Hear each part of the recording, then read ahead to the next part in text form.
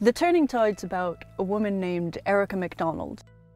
She lives in London. She's been married for 20 years to a handsome man, and she has what on the face of it looks like a very nice life.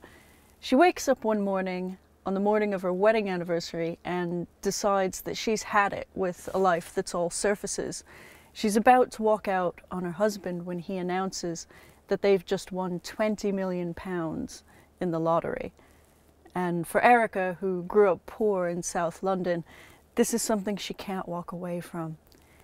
What she doesn't realize is that by choosing to stay, by choosing to say yes to this money, she's agreed to front a criminal operation that involves politicians from Scotland to Westminster and has connections with a decomposing body in a bag that's been found off the coast of the Hebrides.